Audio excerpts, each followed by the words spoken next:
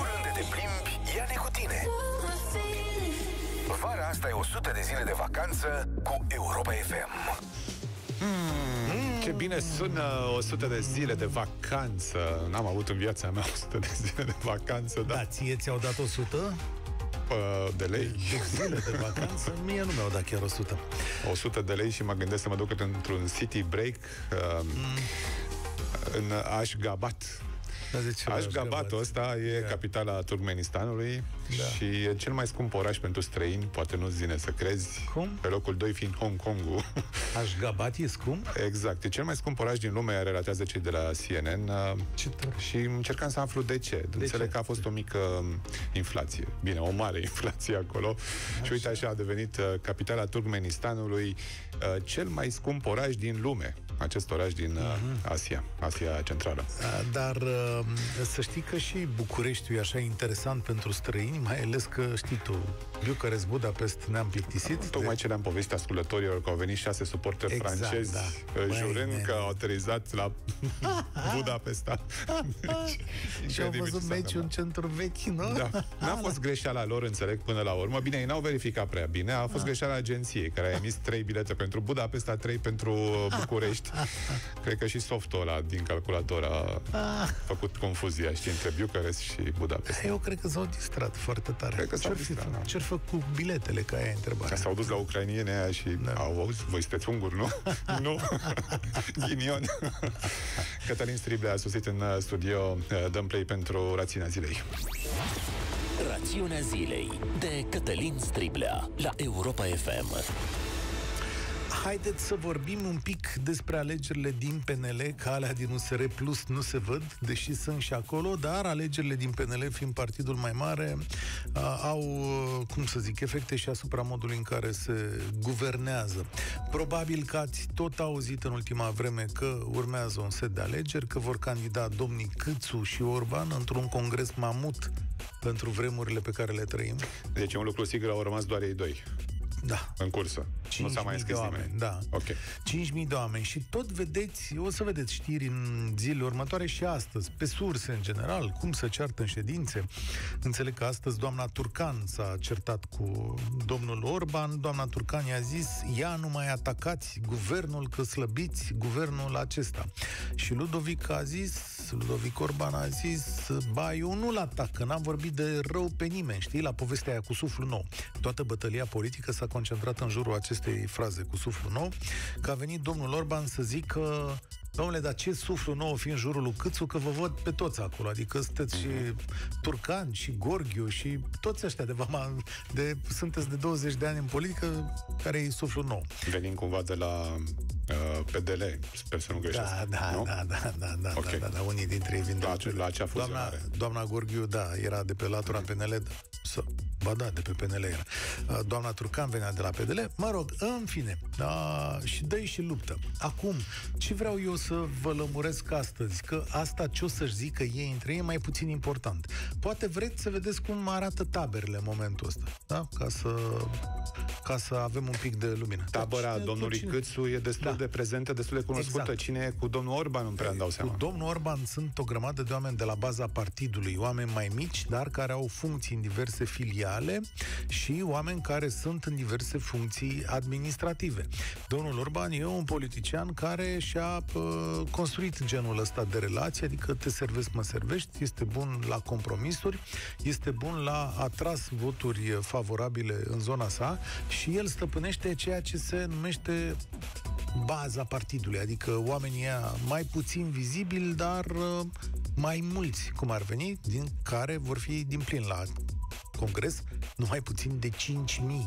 Și uh, ceea ce este mai important în această chestiune este că, de exemplu, dacă domnul uh, Boc, doamna Turcan, doamna Gorghiu, ministrul uh, apărării, uh, toți sunt uh, în spatele domnului Câțu. Ce e foarte important că domnul Bolojan, un om cu foarte mare greutate, nu e acolo. Nu e acolo și uh, nu e nici la domnul Orban. Acest grup al domnului Bolojan, format acolo. Sunt mai mulți oameni președinți de filiale, aparent vreo 15 la număr, care au hotărât la oaltă cu domnul Bolojan să se sfătuiască, să vadă pe cine mai bine să susțină și să ofere un răspuns comun la un moment dat. Probabil că în momentul ăsta sunt negocieri și de o parte și de alta pe cine ar putea să, sau cui ar putea să-i dea sprijinul. Domnul Bolojan a dat și un semnal foarte interesant, a fost la o emisiune la Prima TV, la Sebastian Zachman, și a trimis un fel de, nici nu știu cum să-i spun, un fel de mesaj către Cotroceni și a zis uh, că poate domnul președinte își vede de ale lui cu ocazia acestor alegeri, așa mare, și eu mi-a zis, ah, nu se-l contrazice spre Claus Iohannis, care Claus Iohannis uh, e clar că are o mână nevăzută care îl sprijină pe domnul Câțu.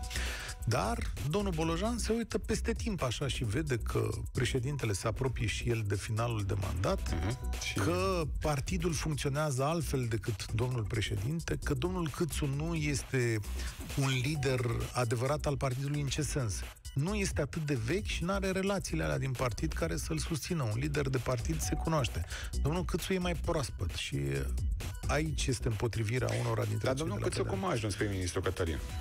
L-a scos, era să, l-a numit într-o seară, Așa? da, domnul Iohannis, cred. Domnul Iohannis, a. Domnul Iohannis, după ce domnul Orban nu mai putea să fie prim-ministru, că na, n-a mai avut sprijinul președintelui, dar mai ales n-a mai avut sprijinul USR. Dacă ții minte, USR nu a vrut să facă coaliție cu PNL dacă... Decât nu pleacă dacă, domnul Orban. Exact, dacă a, nu pleacă înțeles. domnul Orban. Și l-a luat pe domnul Cuță de la Finanțe exact. și l-a exact. dus să... Ce e foarte important pentru noi, ca să reținem chestiunea asta, ceea ce se întâmplă în ultima vreme cu acești oameni influențează diverse acte de guvernare.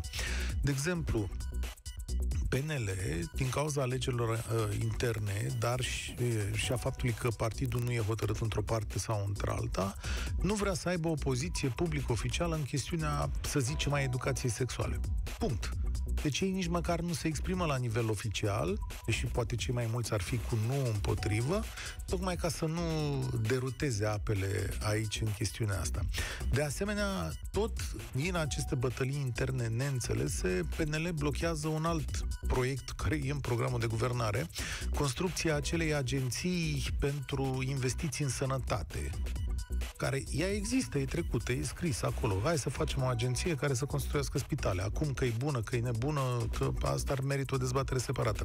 Dar PNL nu se bagă în chestiunea asta. De asemenea, domnul Câțu se pregătește să dea o ordonanță cu uh, spitalele, mă rog, o să apară în ziare așa și am explicat cu privatizarea uh-huh. sănătății. V-am zis, nu e, nu e privatizare, dar și acolo sunt niște lucruri de luat în calcul la alegerile din PNL. Și multe alte acte ale guvernării vor fi în perioada următoare ținta acestor, să le zicem, manevre interne, adică și domnul Orban și domnul Câțu vor încerca să se poziționeze în fața propriilor alegători cu unele dintre astfel de, de acte. Ce am vrut să vă atrag atenția că va urma o perioadă în care veți vedea multă muncă electorală internă. A început, pe banii noștri. A început perioada asta, cred, și... Da, da, da, și va continua. Și va continua până în 25 Soamnă, septembrie, dacă ceva de genul ăsta, 25 nu? septembrie, da. Acum, dacă am plecat discuția de la confuzia dintre București și Budapesta, am putea fi convinși că alegerile din partid vor fi câștigate de Victor Orban? Să știi adică... că Victor Orban ar avea mulți admiratori în politica din România. Pe principiu, ce a făcut ăsta, mă, pa, în afara faptului că arată așa eu... Să vezi titluri în presa străină. Autoritar. Victor Orban a câștigat șefia Partidului Național Liberal în România. Exact, da, da, da. da, da. Alegeri desfășurate la Budapesta. Da, dar chiar îți dai seama, a scris New York Times despre asta și a zis, domnule, știți, vă deranjăm, noi suntem în America, e departe, e o chestiune în Europa aici. România, Ungaria, Bucharest, Budapest și pe ambii premieri cheamă Orban. Ce să mai descurci? E greu. Mă rog că l-a pus pe domnul Câțu, că uite, scoate și de la partic asta. Eu cred că asta se întâmplă. Am spus, îmi pare rău că nu are loc finala Euro la Budapesta, că poate, poate se întâmpla ceva la Arena Națională și nu știa nici ce, știi?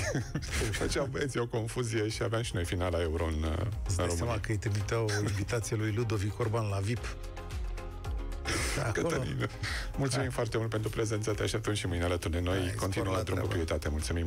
Fie vara cât de lungă, tot nu e cât să ajungă. We can run to catch the sun. Cu Europa FM ai 100 de zile de vară, We could catch the sun. cold drinks on a beach. 100 de zile de vacanță.